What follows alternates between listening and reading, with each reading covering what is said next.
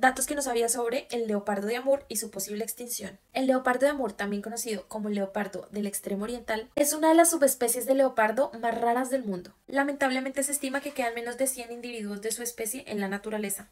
Debido a la crítica situación de esta subespecie, se han implementado diversos programas de conservación en zoológicos y centros de reproducción en un esfuerzo grandísimo para poder salvar la especie. Estos programas incluyen la cría en cautiverio y reintroducción de individuos a la naturaleza. Es una de las subespecies de leopardo más grandes. Los machos pueden pesar entre 75 y los 105 kilogramos, mientras que las hembras son más pequeñas, con un peso alrededor entre los 25 y 42 kilogramos.